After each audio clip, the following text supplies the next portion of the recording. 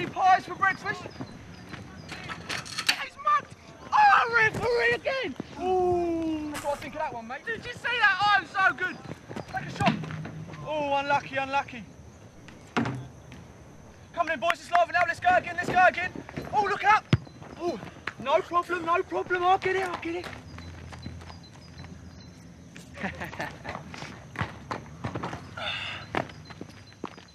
Right, had a nice day.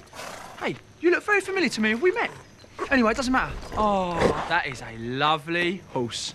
And you're not too bad yourself, by the way.